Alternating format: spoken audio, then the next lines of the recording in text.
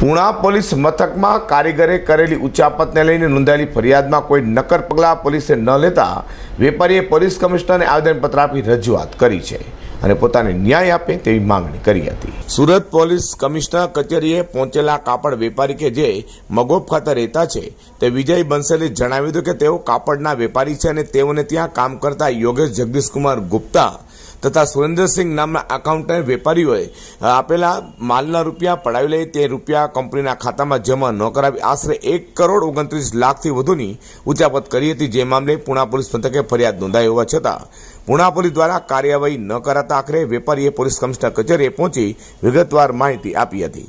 અને આવેદનપત્ર આપી રજૂઆત કરી છે. મેરા નામ વિજય બંસલ સર. आपके साथ क्या हुआ सर मेरे साथ क्या हुआ? मेरे क्या योगेश गुप्ता नाम का मैनेजर था 2016 में काम करने आया था। कि उसने मेरा भरोसा जीता एक साल के लिए वो काम छोड़ के चला गया था एक साल काम करने के बाद फिर वो वापस आया। तो उसने इतना मतलब मेरा भरोसा जीत लिया कि घर जैसे वो व्यवहार करता था सर। तो मैंने पूरा काम उसको सौंप दिया। मेरे तीन फर्म है कमला एसोसिएट्स कमला केसन सी विनायक इंटरनेशनल। तो मेरे चेक वगैरह सब ब्लैंक चेक वगैरह सब साइन करके उसको देता था। वो वहीवट वगैरह सब वो करता था सर। लेन देन बैंक में जमा कराना पैसा निकालना सारा काम वो करता था। वो करता था, सर, उसने क्या किया?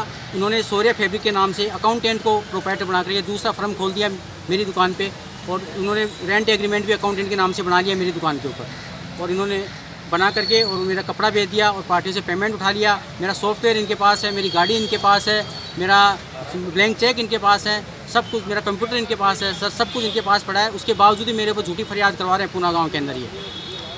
जब उसने आपकी दुकान के ऊपर अपना बिज़नेस चालू कर दिया तो आपने कुछ कहा? सर मुझे बाद में मालूम चले वो चीज़ें। वो कहा तो फिर मेरे को बोले धमकियाँ मिलने चालू हुई कि ऐसा कुछ भी डिसीज़न लेगा तो तेरे पूरे खानदान को ख़त्म कर दूँगा मैं। तो मैं उस चीज़ से डरा हुआ था सर काफ़ी टाइम तक। तो आपने फरियाद किया है?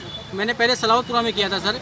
तो सलावतपुरा वालों ने ये विड्रो कह के विड्रो करवा दिया कि भाई हमारा क्षेत्र नहीं लगता तुम पूना गाँव में करो। तो फिर मैंने पूना गाँव में किया सर तीन नौ को।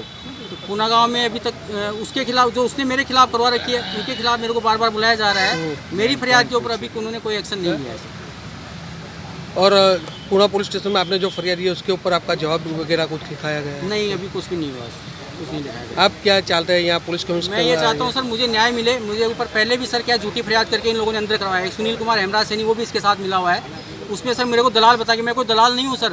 मैं 2012 तरह से ट्रेडिंग कर रहा हूँ व्यापार का। हमारी एसोसिएशन बनी हुई है सूरत मंडल क्लॉथ एसोसिएशन उनको पूछिए सर मैं क्या हूँ क्या नहीं हूँ सर। आपकी कार्रवाई नहीं होगी तो आप क्या करोगे? मेरी कार्रवाई नहीं होगी तो सर मैं मेरे बीबी और बच्चे दो बच्चे हैं मेरे एक बिटिया है एक बेटा है उनको ला करके यहाँ पे हम कैरोसिन लगा करके हम यहाँ पे ख़त्म हो जाएँगे सर। और कुछ के अलावा और कुछ भी नहीं करेंगे हमारे पास कोई चारा नहीं बचा है। अब अब हम दुखी हो चुके हैं सर। હાલ તો પુણા પોલીસ મથકમાં કરોડો રૂપિયાની ઠગાઈની ફરિયાદ નોંધાવવા છતાં પણ પુણા પોલીસ દ્વારા કોઈ પગલાં ન લેવાતા વેપારીએ પોલીસ કમિશનરનું શરણું લીધું છે. અઝર કુર્સી સાથે હર્ષદ સેઠા.